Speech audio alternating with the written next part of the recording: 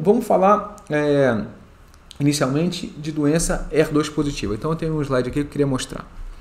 É, esse slide aqui, ele é um pouco confuso aqui, né? Mas eu vou explicar o que é, o que é isso aqui. A gente está vendo aqui, ó, essa parte laranja é membrana celular. Se a gente imaginar que a célula é um ovo, é a casca do ovo, tá? Para baixo estaria o núcleo, que é a gema do ovo, onde estão as informações né, genéticas. E o que a gente está vendo aqui, essa estrutura verde, essa estrutura outra verde aqui, essa amarela, essa azul, são as antenas, os ER2, tá? As antenas que percebem os sinais de crescimento. Elas ficam para fora da célula. Então o que a gente faz? A gente tem dois remédios hoje, ou três na realidade, né? São anticorpos que se ligam a essas antenas. Tá? Eles se ligam à antena e desligam o sinal dela. Tá? Então esse desligamento do sinal da antena faz com que é, a célula pare de crescer. Tá? Então a célula só, só de desligar aquele sinal ela pode morrer, tá? por isso. Como é, a gente pode, além de desligar aquele sinal, é, o anticorpo pode atrair células de defesa para aquele lugar e a tua própria imunidade pode atacar aquela célula cancerígena. Tá? Então a gente vai sempre usar anticorpos ou alvo ou medicamentos contra esse alvo que chama ER2, tá? Então hoje a gente tem vários remédios contra ele. O primeiro foi o trastuzumab, que é um remédio super efetivo. O segundo foi o pertuzumab, que é contra o mesmo alvo, também igualmente efetivo. E a gente tem ainda hoje o TDM1, que é o trastuzumab DM1, que é uma espécie de cavalo de Troia, né? Ele é um anticorpo que carrega uma quimioterapia no rabo dele, né? Mal comparando. Então, quando o, a, o remédio se liga na célula, ele entrega o, o quimioterápico dentro da célula cancerígena uma coisa super interessante e tem pouquíssimos efeitos colaterais, tá? Em geral, a gente vai usar ele combinado à quimioterapia, pode ser em alta dose, baixa dose, enfim. Mas o, os remédios, esses R2 tem que estar sempre presentes, tá? Uma outra maneira de inibir o R2 é usar remédios que bloqueiam por dentro.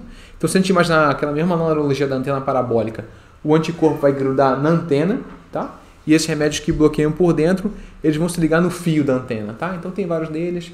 Os que estão no mercado hoje são o lapatinib e o neratinib. Tá? São remédios um pouquinho mais tóxicos, né? tem efeitos colaterais mais chatos, como diarreia, dá um pouquinho de afta na boca, às vezes inflama a mão e o pé.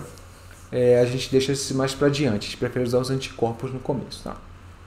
Então esses são basicamente os tratamentos que a gente vai usar, ou quer dizer, grosso modo, né, que a gente falou, o esqueleto do tratamento quando a mulher tem uma doença metastática HER2 positivo. Tá? Tem que ter algum remédio contra o HER2. Esse é o motorista da doença.